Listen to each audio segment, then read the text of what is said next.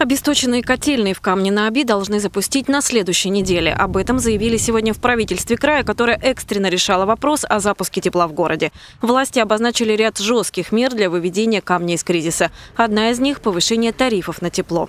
Напомним, в Камне на Оби введен режим ЧС в связи с тем, что город не готов к отопительному сезону. Совокупный долг перед энергетиками составляет 26 миллионов рублей. Из 35 котельных 3 обесточены и не сформирован необходимый запас топлива. Для выхода из проблем власти края Камня договорились о том, что отвечать за теплоснабжение этой зимой будет не вновь создаваемый МУП, а прежнее предприятие «Каменские теплосети». Оно находится на грани банкротства. Чтобы вывести организацию в безубыточное состояние, решено поднять тариф на тепло.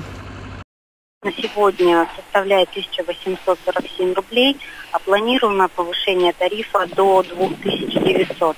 Мы понимаем э, ту ситуацию, при которой сегодня люди могут возмутиться и быть недовольны данной ситуацией, но мы с э, районными депутатами рассмотрели вопрос и приняли решение о том, что с районного бюджета разница в тарифе будет возмещаться жителям Каменского района.